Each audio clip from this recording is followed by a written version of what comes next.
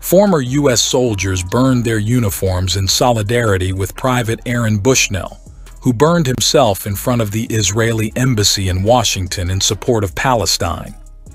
During a memorial ceremony in downtown San Jose, American veterans and anti-war activists burned their military uniforms in a symbolic and personal gesture in honor of Bushnell's sacrifice.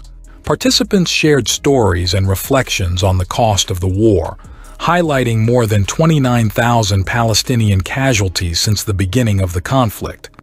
In Chicago, hundreds gathered to light candles in honor of Bushnell and all those who lost their lives in the struggle for Palestine.